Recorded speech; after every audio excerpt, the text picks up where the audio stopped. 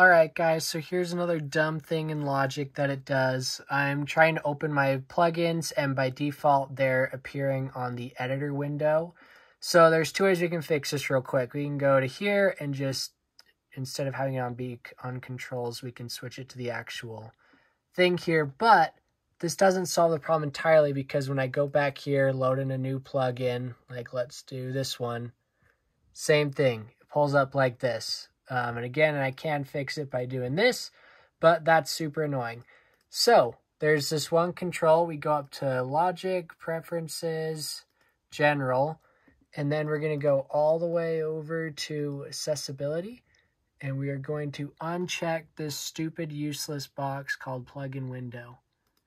Uncheck that, X, your problems will be solved. Now when we go here to open up any plugin, it will pull up as normal. So that's how you fix it.